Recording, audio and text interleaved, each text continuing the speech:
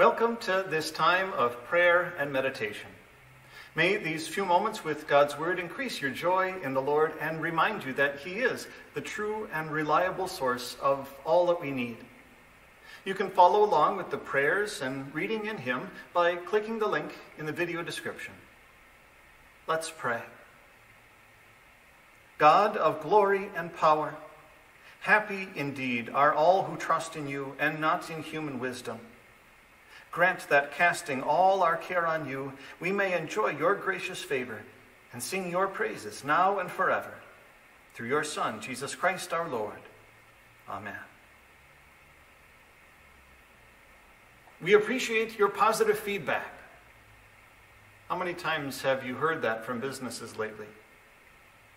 It seems like so often when we, we have a, a customer experience, someone wants to see what that experience was like.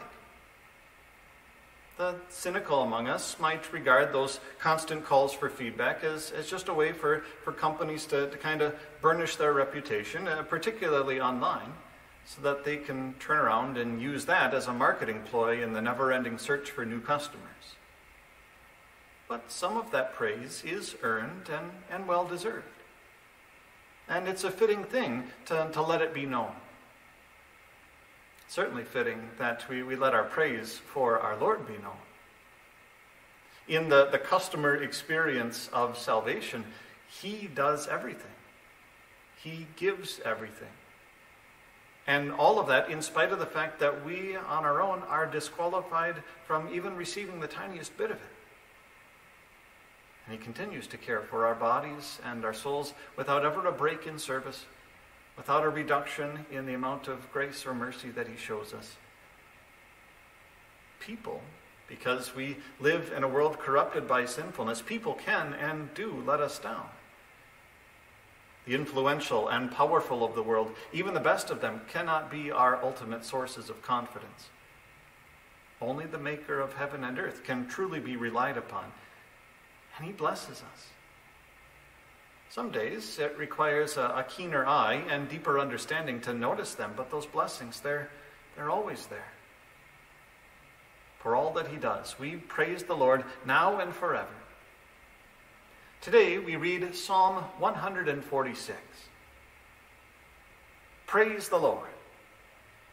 Praise the Lord, O my soul. I will praise the Lord as long as I live. I will make music to my God as long as I exist.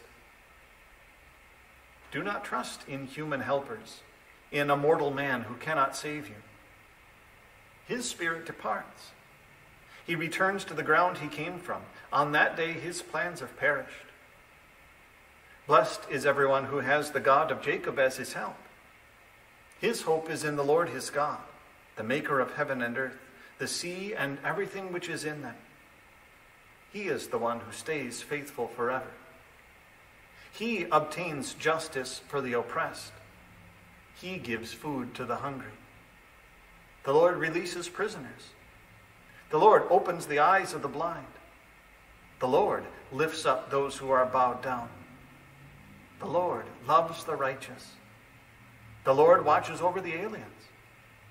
The fatherless and the widow he sustains, but he turns aside the way of the wicked. The Lord reigns forever. Your God, O Zion, rules for all generations. Praise the Lord. This is the word of our God. Having heard his word, we confess Christian faith using the words of the Apostles' Creed. I believe in God the Father Almighty, maker of heaven and earth. I believe in Jesus Christ, his only Son, our Lord who was conceived by the Holy Spirit, born of the Virgin Mary, suffered under Pontius Pilate, was crucified, died, and was buried. He descended into hell. The third day he rose again from the dead.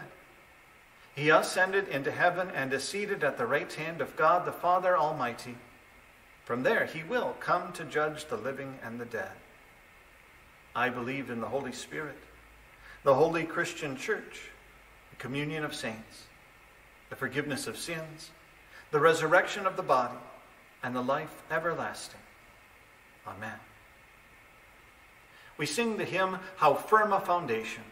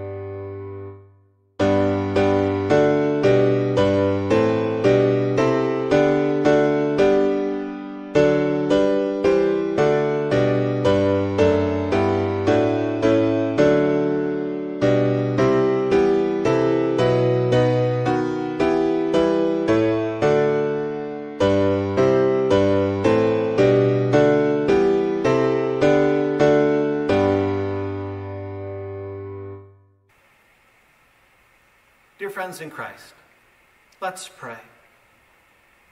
Heavenly Father, we thank you for all the blessings that you continue to give us day after day.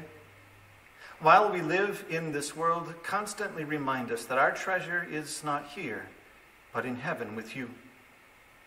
Until we're there, help us in our daily toil and struggles. Give us patience and strength to bear up under all things that test our faith. Fill us always with contentment through the righteousness and salvation given to us through your Son, Jesus Christ our Savior, who taught us to pray. Our Father, who art in heaven, hallowed be thy name.